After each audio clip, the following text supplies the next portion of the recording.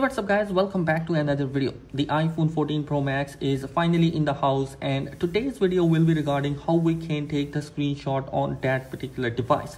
Now let's begin the video and see how we can take the screenshot using that particular device. So the first method is really really simple you just need to press the power and volume up button simultaneously and you can take the screenshot quite easily.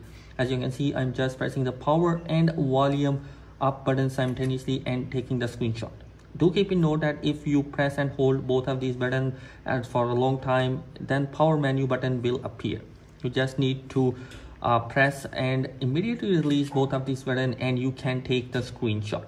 Now the second method is also really, really simple. You just need to double tap on the back of your device and you can take the screenshot quite easily. As you can see i'm just taking the screenshot using that particular method and it's going to be one of the easiest methods through which you can take the screenshot.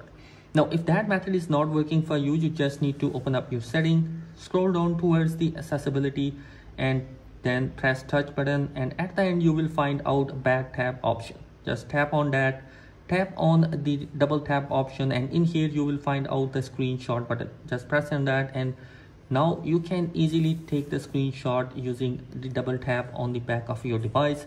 As you can see, I am demonstrating you how you can take the screenshot using that particular method.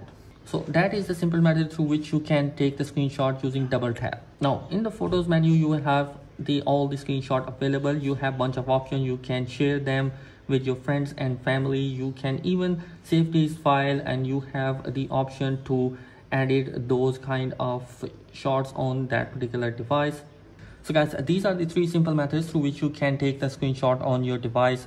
I hope this video has helped you out in some way. Do consider subscribing my channel for more update because some amazing content is planned for this year. Thanks for watching this video. Be sure to subscribe. Peace